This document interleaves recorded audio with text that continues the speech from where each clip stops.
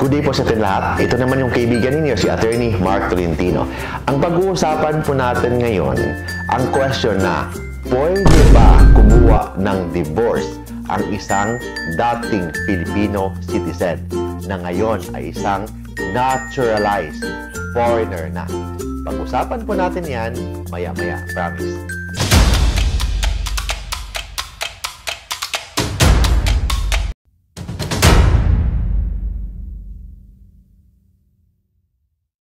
Good day po sa atin lahat. Ito naman yung kaibigan ninyo, si Attorney Mark Tolentino.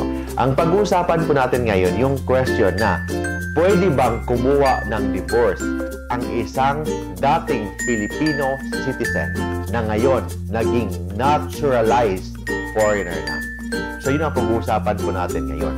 Kasi as a general rule, kung ikaw ay isang Filipino kahit saan ka man sa mundo, doon ka man sa Africa, doon ka man sa Afghanistan, kung kumuha ka ng divorce doon, valid ba yan dito sa Pilipinas? Hindi po valid yan. Kasi sabi ng ating batas, under the principle of lex nationali, Filipino ka wherever you may be located. And under the Civil Code of the Philippines, yung marriage law mo, yung family rights, family duties are governed by your, by your national law wherever you may be located. Kahit saan ka sa mundo, basta pag-uusapan yung marriage, family, obligasyon bilang asawa, rights, law about sa family, governed yan ng national law wherever you may be located. Ibig sabihin, kung kasal ka dito sa Pilipinas, kasal ka din doon sa ibang bansa. Kasi kung ay yung kasal mo hindi lang jurisdictional dito sa Pilipinas. Kung nagpakasal ka sa asawa mo dito sa Pilipinas, kung pupunta ka sa Saudi, pupunta ka sa Japan, kasal ka pa rin. Kasi you are governed under lex nationali. Ang tanong dito, paano naman kung ikaw ay isang Filipino but nagpa-convert ka o, or nagpa-naturalize ka isang, bilang isang Hapon, bilang isang American citizen? Pwede ka na bang mag-divorce? Yes, pwede na.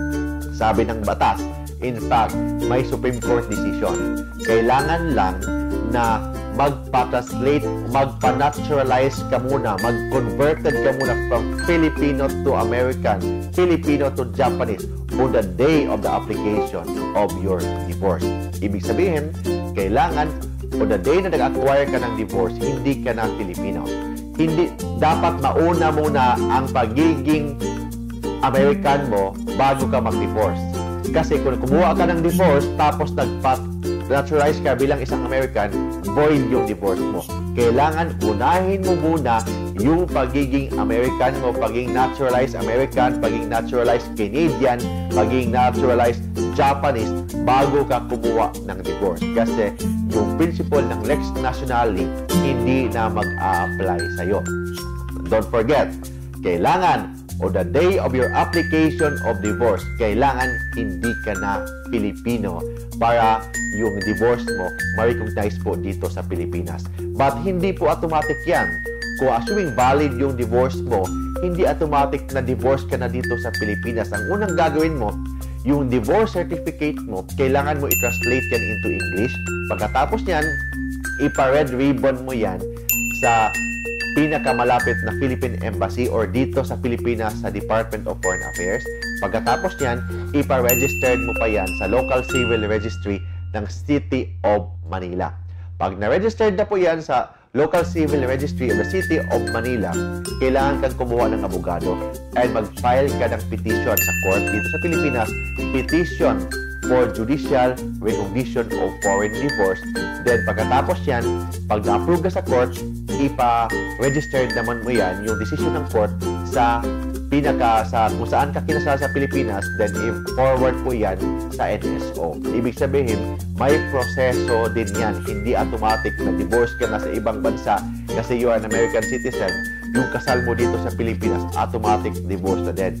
Kailangan ka pa din mag-process on accordance with Philippine law. For more legal advice, please call me landline within Metro Manila 209-6203. I repeat po, 209-6203. And mobile number natin, pwede kayo mag-text, tumawag, or through Viber na 0917-329-5353. I repeat po, 329-5353 and please subscribe, share, like, comment.